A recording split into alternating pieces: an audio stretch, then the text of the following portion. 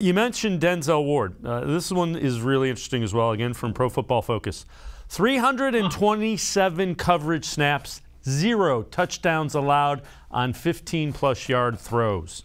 So that's, you can't get any better than that in coverage for Denzel Ward.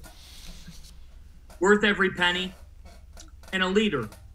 He is. He's a leader. He changes the whole way that, that they defend when he's on the field and he has that presence about him where he might just be on one man on a play, but man, he takes away so much. He takes away an area of the football field. You are not throwing at him. And with him and Greg Newsome, the Browns are in good hands.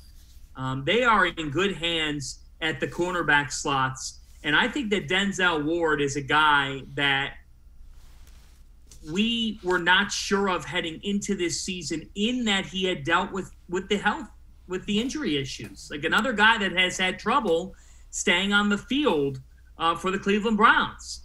But we always knew he was talented. You look at numbers like that, that's not talented. That is superb. Like that is on another level. And that's what Denzel Ward has been. He was a home run pick the night in the draft. He got rave reviews out of college, and he has been that guy for them as a pro. So it's really encouraging to see that that you do have a lockdown corner. Like we don't go into games saying, "Man, the Browns are going to have a heap of trouble on the perimeter defending this guy." We go into games saying, "Can they defend the middle of the field? Uh, can they get off the field on third down?" But a lot of that's underneath, and a lot of that's over the again over the middle. Denzel Ward, when you have a lockdown corner, it can take away a quarterback's best weapon. And that's who Denzel Ward is to the Cleveland Browns. Yeah, totally agree with that. He has been outstanding, and um, you would expect an extension to be coming uh, for Denzel Ward um, in the offseason, certainly.